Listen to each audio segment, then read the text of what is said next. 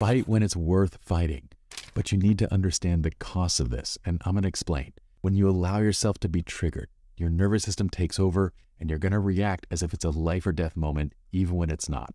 So let's say in the moment you choose to fight, and not physically, but rather in the form of an argument. You've decided that you're going to really let this person have it for saying or doing whatever they've said or done, right?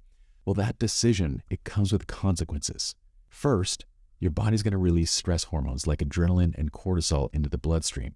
This brings you to a heightened and anxious state, which can last for four to six hours after the perceived threat is gone because it activated your sympathetic nervous system. In fact, this state of anxiety and agitation can actually last for days if you continue ruminating on the event, which I think a lot of us do, right? Not only does this impact your time and your energy, prolonged stress levels have also been shown to weaken your immune system and even lead to chronic disease. And look, I get it.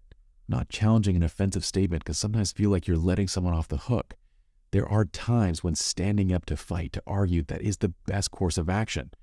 But I'd also argue that most of the time, the best thing you can do for yourself is to walk away from these potential fights or arguments because you know